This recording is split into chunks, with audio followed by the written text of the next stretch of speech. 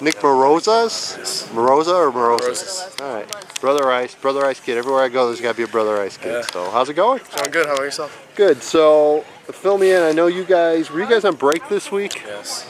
So, you kind of missed the whole Yeah, march of the coaches. First, first wave of them. Well, I got to imagine probably starting tomorrow, you might see. Any idea of some guys that might come through school this week? Uh, I know. I don't know about this week, but I know Indiana's gonna be coming through. Penn State's gonna be coming through. U of I, Boston College, and Syracuse. Those are the ones I know for sure. You keep bringing up Indiana.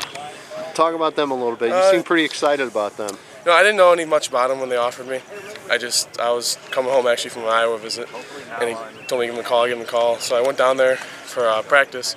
Really liked it. Really liked how the coaches are all family. Like Coach Allen, he has a family-like atmosphere. He lets all the parents bring their kids and stuff all to the practices. They have dogs on the field, all the practices. It's really, really nice family atmosphere. I really like that. That's good. And then, you know, I, I, it's funny you talked about Penn State a little bit, and um, it seemed like they impressed you quite a bit as well. Yeah, I mean, like I said, you know, that 107,000 people stadium, that's blows your mind right away. And again, they were very family-like atmosphere too. There was parents on the field during practice and stuff. They had a nice scrimmage in the stadium. I was there, it was a really good time. I know we talked before, but time frame. I mean, are you kind of in the back of your mind, kind of sorting things out here? I'd like to do it before the season to get my mind off, so I can just just focus on Brother Rice, focus on winning the state championship, bring one for the team.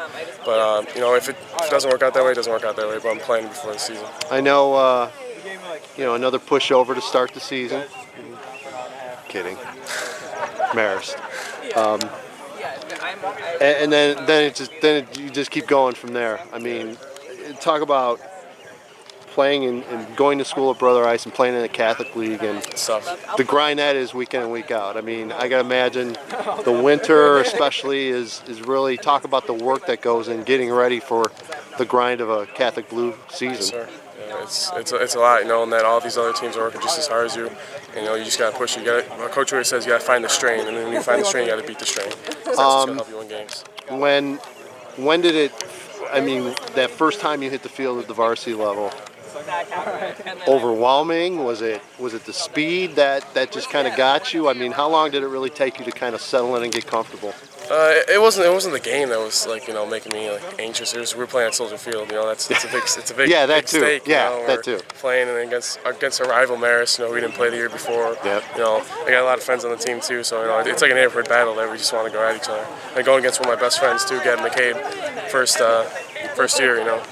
You have you have a, a lot of great rivalries, and I know Marist is one of them. But I mean, are they all rivals in the blue? Oh, for I- sure. Every know, game is Yeah. blood, sweat, to the end. All right, Nick Marozas, Brother Rice. Thanks.